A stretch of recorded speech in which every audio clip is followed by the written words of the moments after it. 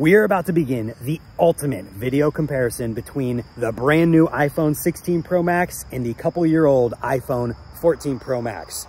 We are going to be comparing all three of the lenses from this 1X main camera that we're on right now to this 0.5X ultra wide camera, which in this generation of phones, Apple has upgraded from a 12 megapixel sensor on the previous to a full 48 megapixel sensor on these new ultra wide cameras as well as the 3x telephoto lens on the 14 Pro Max and the 5x telephoto lens of the 16 Pro Max, of which I am sorry for the super zoom and I did not film any of the video that you're about to see with these directly beside each other. I did try to compensate for the differences between 3x and 5x. So with that being said, this comparison is also going to be a bit different in that I am shooting everything unless otherwise stated in 4K 60 frames per second, editing in 4K 60 frames per second, and then exporting a 4K 60 frames per second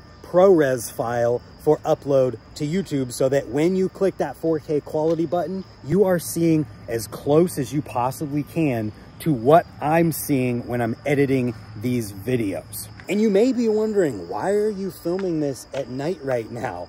Well, the reason for that is pretty simple. I feel that's where, if there are significant differences in these cameras, that is where they will be found. So we are here at the skate park.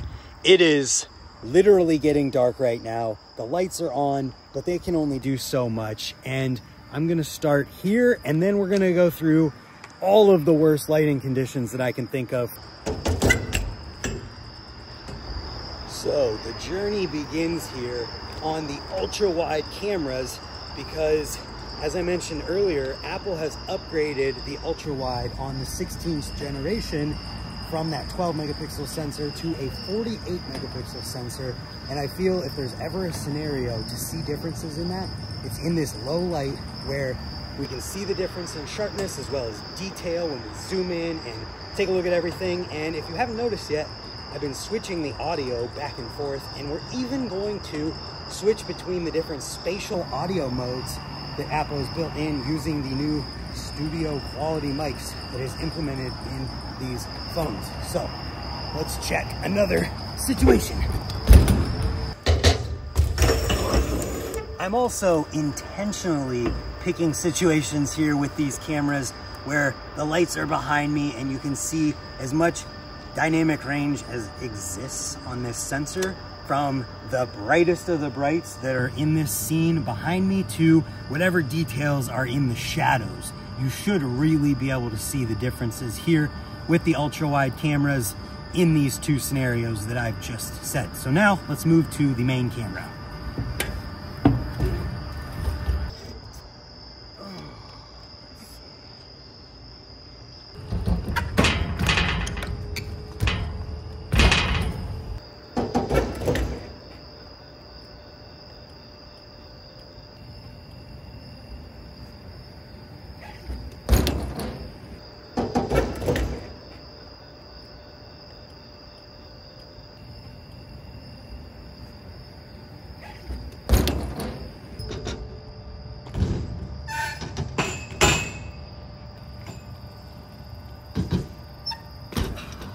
This car pulling in with his headlights actually brought up a perfect thing that I didn't even think about for this video. The uh, flaring. The flaring was supposed to be less on these phones.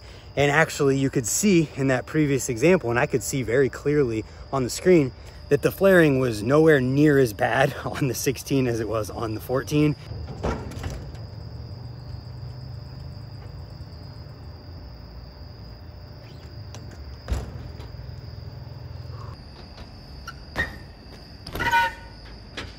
So at this point in the evening, it is dark. And the only light that we are getting is that of these street light things that are at the skate park, letting off a bit of light. And I figured that rolling around like this with the different light sources, as well as on the different lenses like we are, would give you enough of an example of the different lighting conditions that we're rolling into and out of to see some differences in like really, really poor lighting. So we're on the ultra wides again, and I think that you may see some differences here. I feel pretty confident in saying you'll see differences in the 5 and 3x cameras except for now whenever we're super zoomed in and you just get what you get when the cameras are right beside each other and I will be apologizing for this moving forward in this video but I want to show the differences another point I wanted to make here is talking about the camera upgrades here Apple is referring to the 48 megapixel sensor on the main camera as a fusion camera. And I don't know if that actually means anything. So I'm gonna need you guys to let me know if you're seeing an actual difference between these cameras in all of these situations. And don't worry, there are a ton more coming up throughout this video.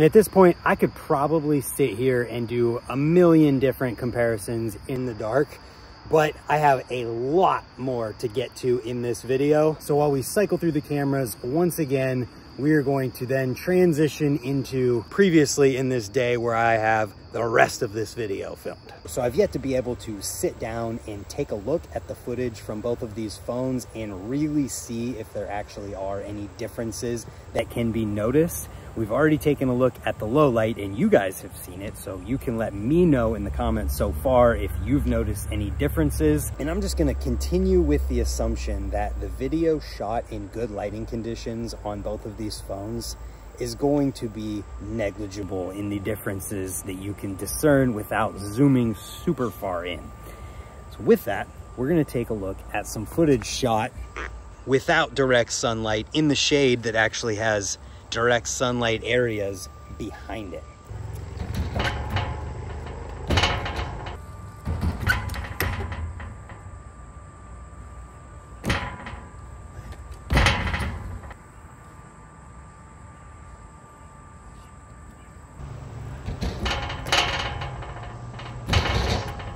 Real quick here too, I thought it would be good to add in with the 1X, me talking with the brightly lit area behind me, but me in the shade, just to give you kind of ideas under these a little bit harsher lighting conditions.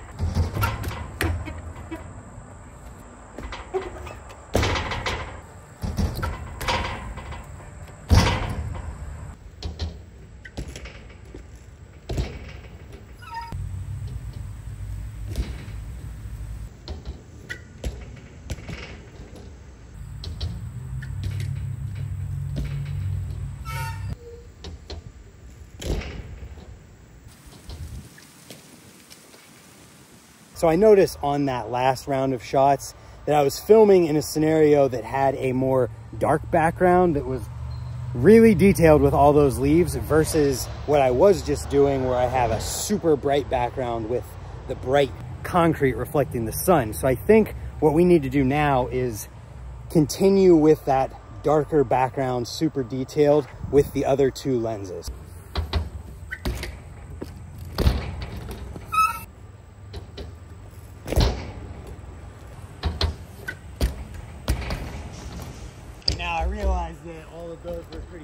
So I'm just gonna sit here on the ramp for a second and this will give you a test between the audio of the two of them as well because I have my phone set up probably 20 feet away from me, pretty far distance.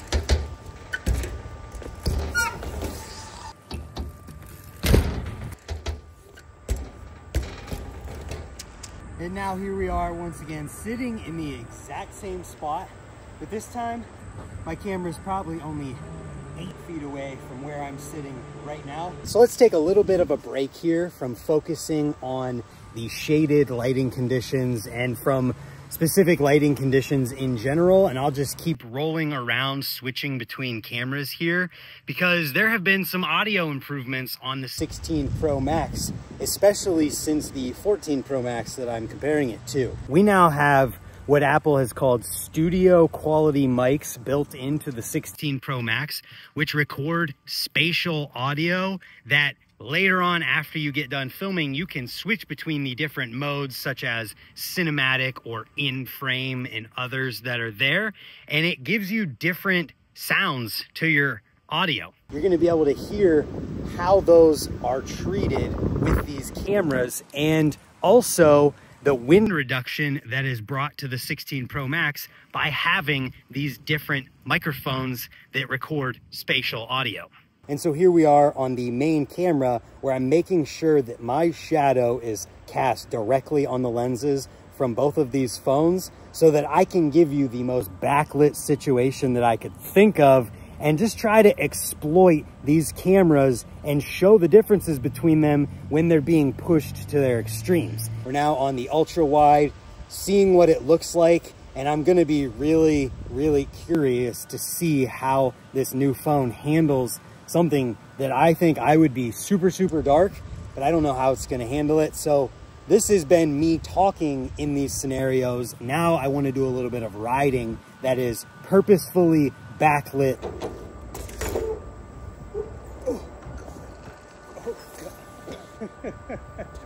We're using that.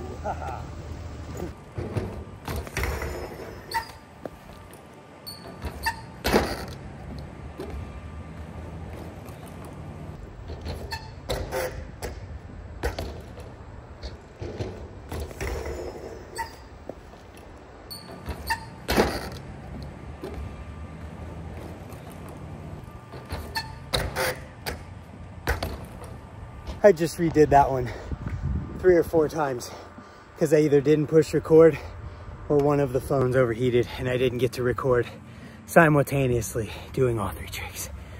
Holy cow. Here's something we haven't compared yet. The 2X on these cameras. And also, I have this superstition where a train goes by and I know I'm gonna land my trick and it just worked out again. So these are the 2X cameras, which I think in theory should be also very similar. Same story as comparing the 1X.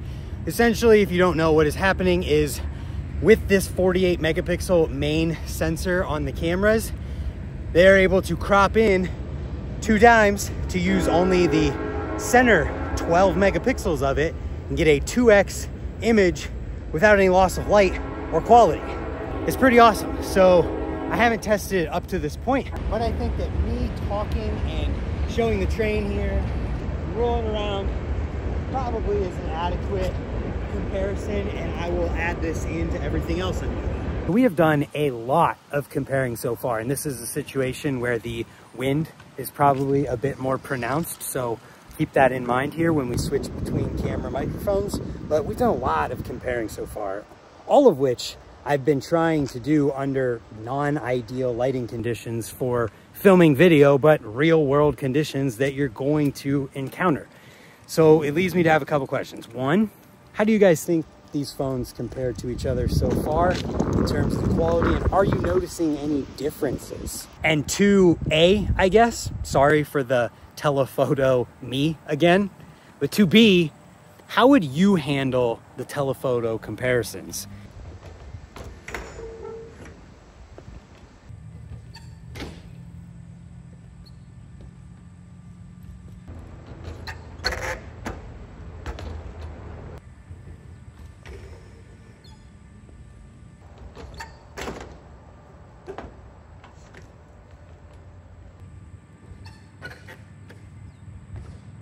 Something else we can test here are the macro capabilities of these cameras because with the 14 Pro Max, Apple introduced autofocus for the ultra wide camera. So as we can see here, we're focusing between the bike, then my hand, back to the bike. So to test that, we are going to see how close we can get to the knob on this tripod before it stops focusing.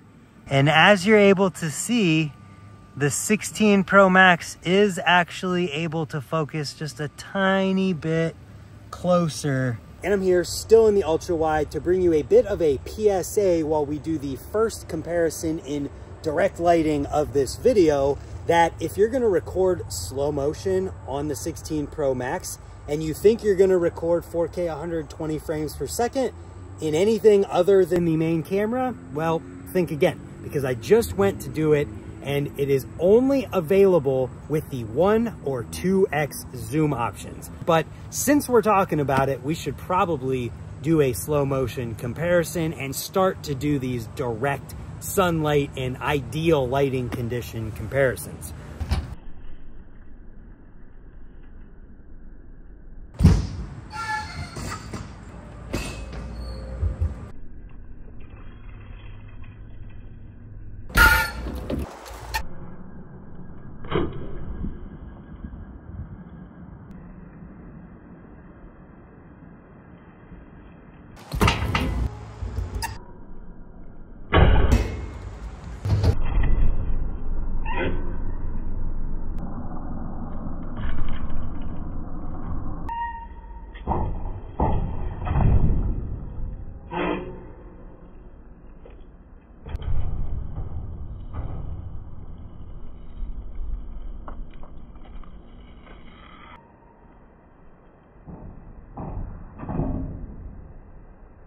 So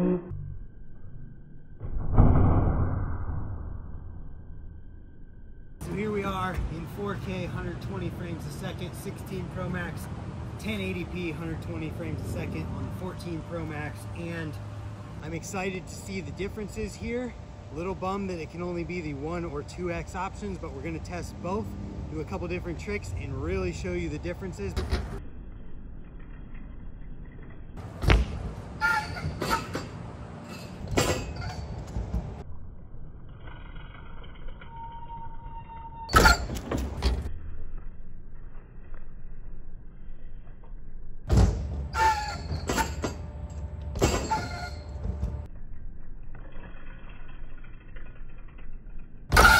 Something that I just noticed is that you don't natively get 2x on the 14 Pro Max. It's either 0.5, 1, or 3x. Whereas on the 16, you get 1 or 2. So I had to manually zoom in to 2x, and you can only imagine you're seeing what that looks like when zooming in on 1080. So that'll be something to take into consideration too.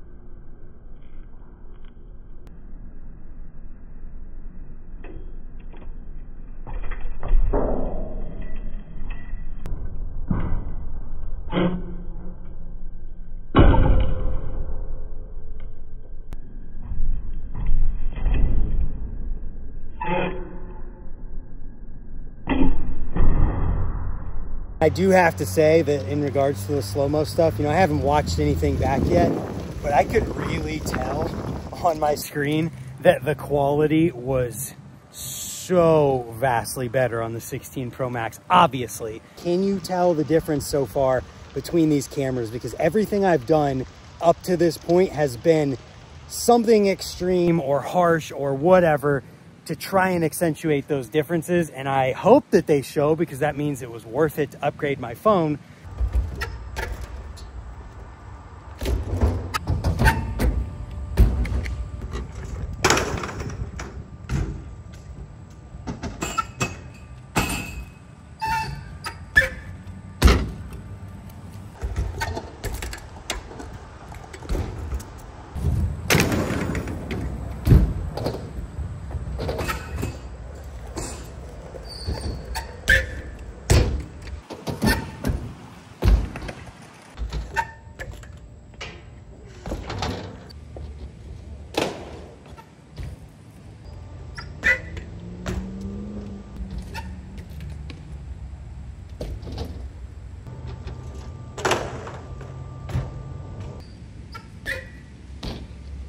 All right, so we have tested all of the lenses in just about every single lighting condition that has existed today. There's one other thing in this whole thing that we haven't tested yet, and that is the stabilization to see if there's any differences between these two phones and their stabilization.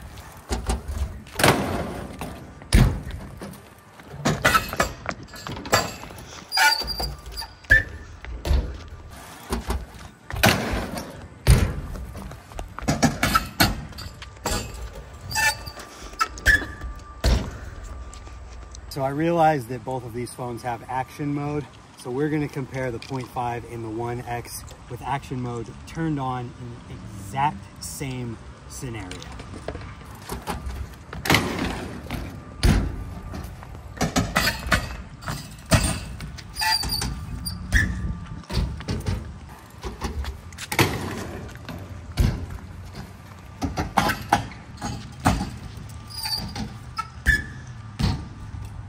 another test here of the stabilization between action and non-action mode. This time just walking sideways on the ground.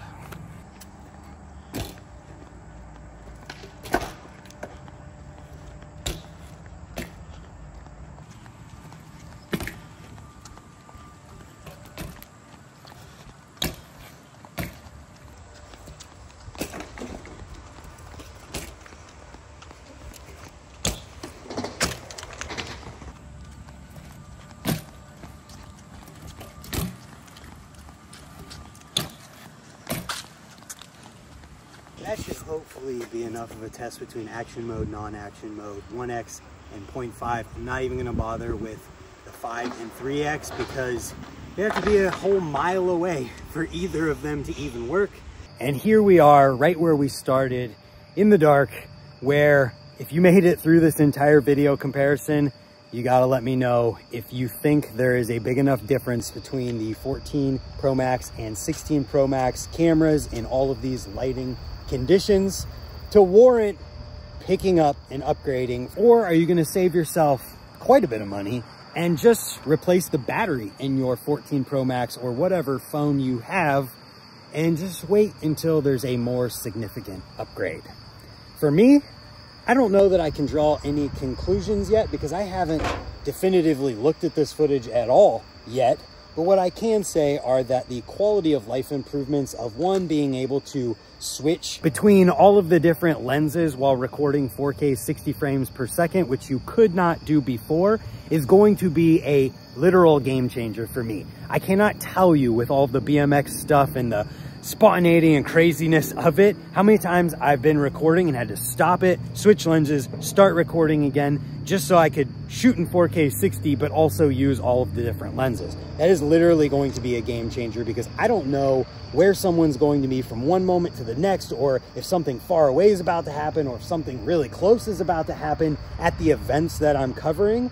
And so being able to just zoom in, zoom out without having to stop recording, literal game changer. Another quality of life thing with this new phone is something that I know you could already do with the action button before in opening the camera with that action button, but to be able to use the camera control button to instantly open the camera up and then instantly start recording, which you don't think you could do with the action button, is also going to be a game changer for me.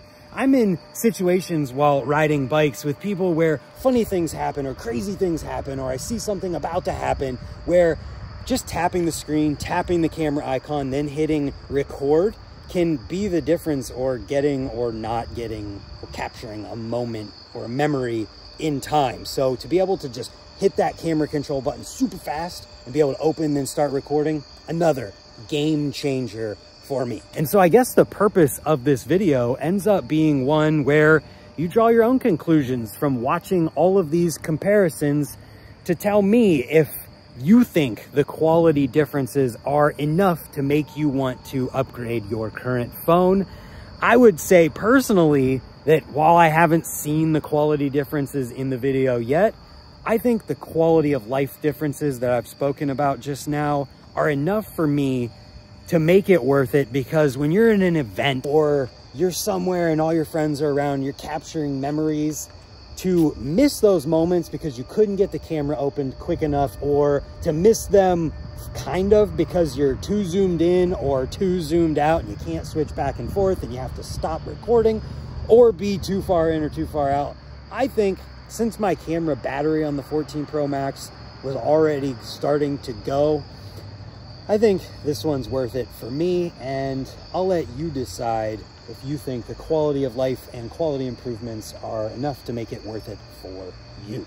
Stay tuned. I plan to use my mom's 12 Pro Max in a comparison between the 16 Pro Max and it because I think that is where we will see some significant quality differences that if you are on a 12 Pro Max or older, you may find that it is worth it for the quality differences, but that is one for another video. Thanks for watching this one.